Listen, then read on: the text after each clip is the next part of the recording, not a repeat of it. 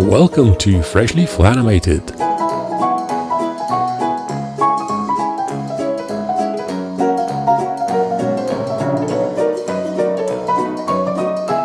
I'll open the library and create a deep copy of our symbol container using duplicate symbol recursive. What duplicate symbol recursive does is that it copies not only the symbol itself but all the nested symbols inside it. So this one, this clone of our cat is actually a completely independent character. Now I will use this as a reference point. I've saved the little color effect here, which I will apply to my clone. And then I will use this as a starting point of a new palette for this character.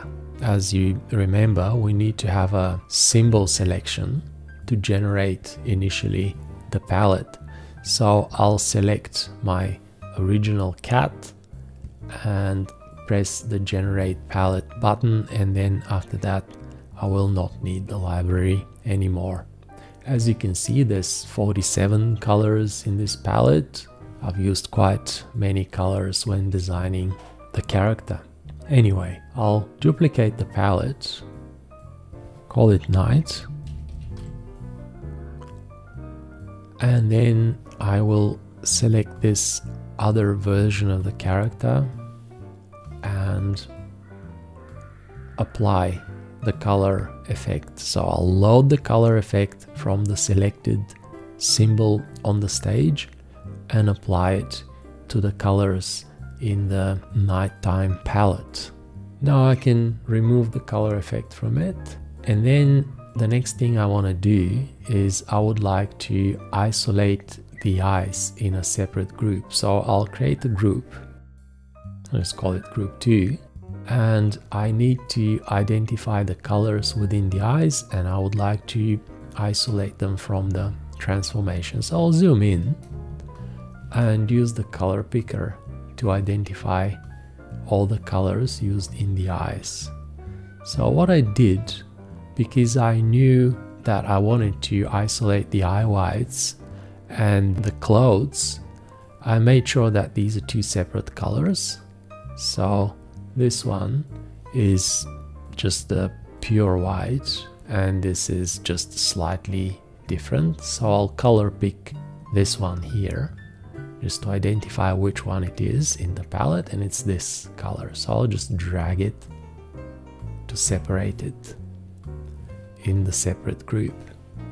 And I'll continue doing this um, with this black color, which is not black. It's this color here. I'll drag it to the separate group and I'm quite sure that uh, these two are the yellow colors. I can either search with the magnifying glass tool, yes it says it's the iris, or I can color pick, but yeah this one says iris as well. So I'll just move it here and I'll delete the empty swatch.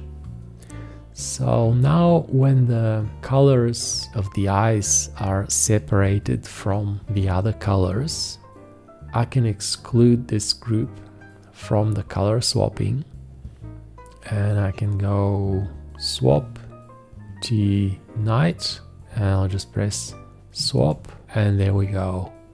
We excluded the eyes and we got this result.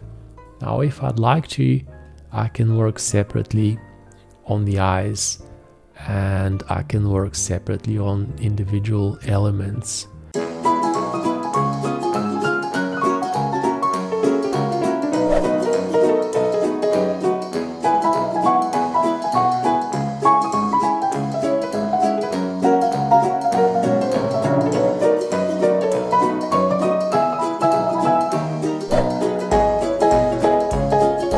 freshly flanimated.